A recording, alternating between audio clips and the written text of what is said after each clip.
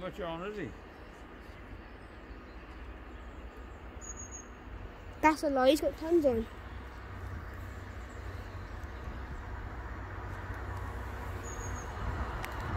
Oops, sorry.